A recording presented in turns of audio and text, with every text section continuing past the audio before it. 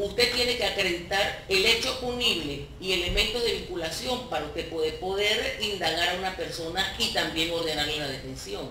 Si usted el día 9 de febrero ordena una indagatoria contra una persona y el mismo día está preguntando a Brasil si tienen una causa contra ellos, que en efecto no existe ninguna causa contra ellos en la hermana República de Brasil, entonces, ¿cuáles son los elementos que usted tenía?